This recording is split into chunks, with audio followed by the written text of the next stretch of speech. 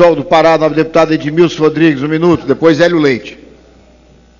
Presidente, eu peço que dê como lido uma manifestação minha por conta da morte do Dom Vicente Zico, o nosso eterno bispo do estado do Pará. Eu fui prefeito de Belém pelo Partido dos Trabalhadores, tenho uma história de resistência à ditadura ligada aos movimentos sindicais.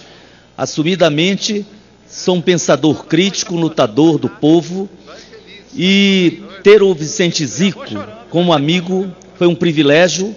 Eu talvez tenha sido o único prefeito ou governador de toda a história do Pará que teve a honra de ser recebido pelo Papa João Paulo II, exatamente por conta dessa amizade. Então, foi uma grande perda para mim, para o estado do Pará, este que foi nascido em Minas Gerais e, por amor a Belém, foi evangelizar em Belém e quis morrer, inclusive, na nossa terra. Muito obrigado.